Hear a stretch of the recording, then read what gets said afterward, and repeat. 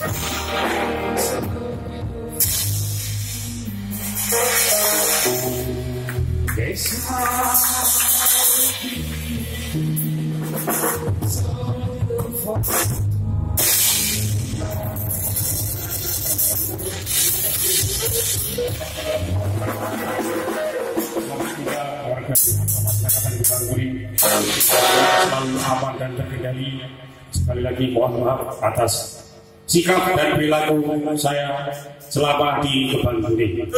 Bang Rija selalu.